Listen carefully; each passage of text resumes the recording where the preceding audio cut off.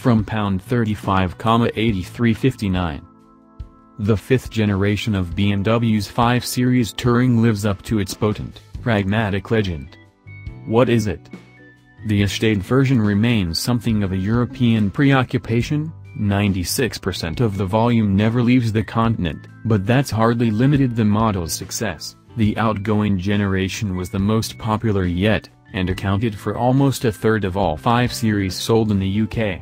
The car is marginally larger in all directions than the model it replaces, and improves on the saloon seat-up boot volume by around 40 liters.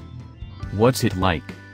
It's quite possible that the Touring's combination of air-fettled backend and optional variable dampers make it the finest riding version yet a lingering suspicion that obviously requires verifying back in the UK, but one continually evoked nevertheless by the ultra-supple wheel control and evidence on German roads.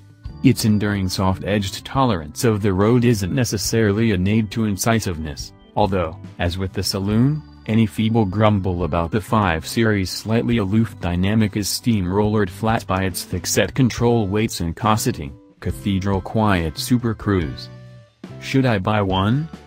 Heightened efficiency aside, stooping under the premium tax rate while still featuring 17-in alloys, LED headlights, two-zone aircon, heated seats, cruise control, front and rear parking sensors and the latest generation of 10-in iDrive touchscreen makes it a compelling real-world family solution.